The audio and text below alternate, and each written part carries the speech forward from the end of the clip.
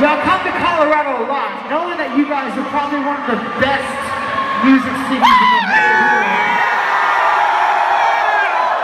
I gotta play something brand new. I was at Grizz's house tonight, and I just made this shit, so here we go, check it out.